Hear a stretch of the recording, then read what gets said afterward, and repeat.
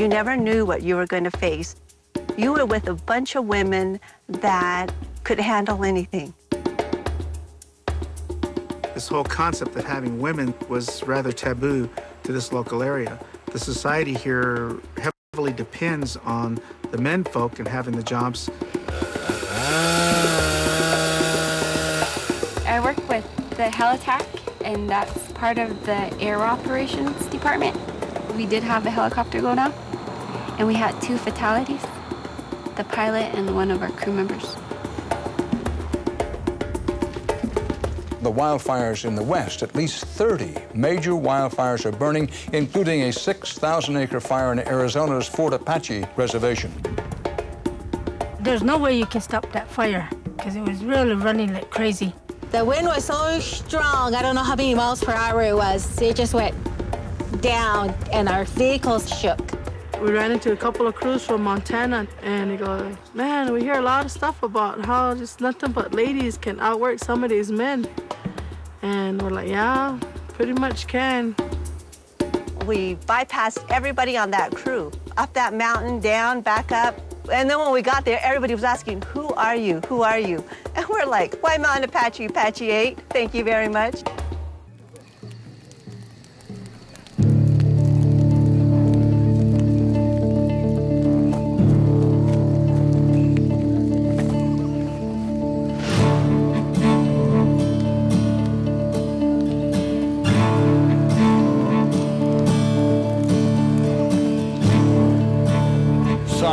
Encouraging reports tonight from the western wildfire zone. Firefighters say they are gaining ground on the giant Show Low fire in Arizona, thanks in part to a remarkable team of firefighters.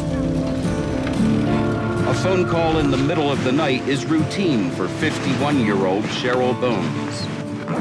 Since 1976, Bones has been crew boss for Apache Number 8, and that means travel, often for weeks at a time. 21 days without a break, 90 hours a week on the line. They have a reputation for killing the toughest of fire. By reservation standards, where jobs are scarce, the pay is good. We went out that we left our families behind. I had three kids that I left behind, five, two, and one years old when I started. That was pretty tough. Chip Reed, NBC News, Show Low, Arizona.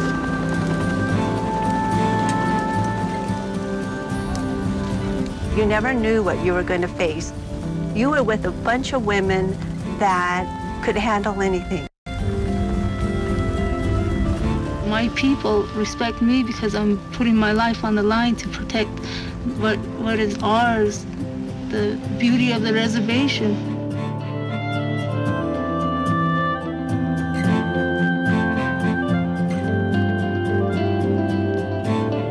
When they first started, um, they were probably the only women's, all women's crew, firefighting crew that was out there.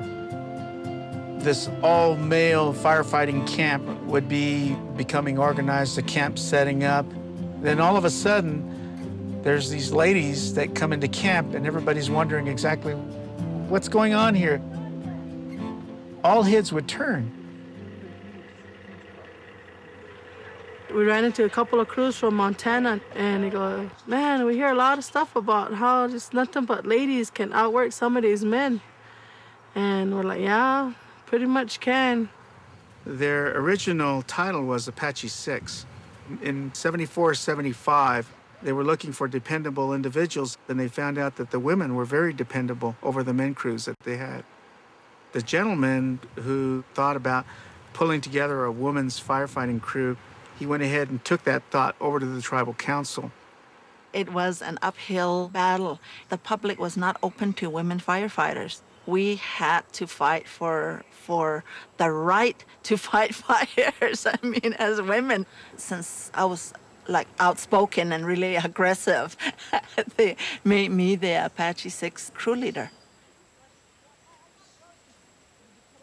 We did not know if they were going to even issue us the proper equipment, like, yeah, right, I don't think so attitude, you know?